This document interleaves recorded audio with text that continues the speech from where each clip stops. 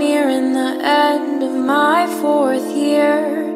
I feel like I've been lacking, crying too many tears. Everyone seemed to say it was so great. But did I miss out? Was it a huge mistake? I can't help the fact I like to be alone. It might sound kinda sad, but that's just what I seem to know. I tend to handle things usually by myself. And I can't ever seem to try and ask for help.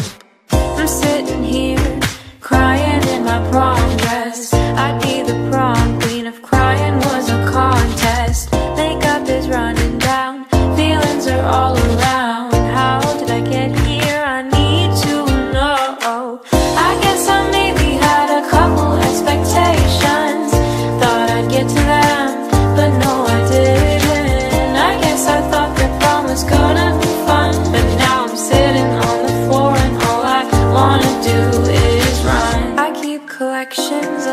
Upon my wall to try and stop myself from revealing it all.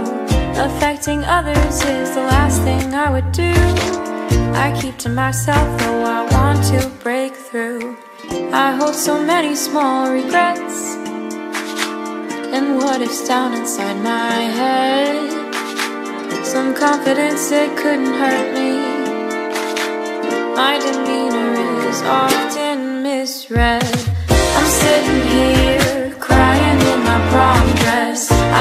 I'm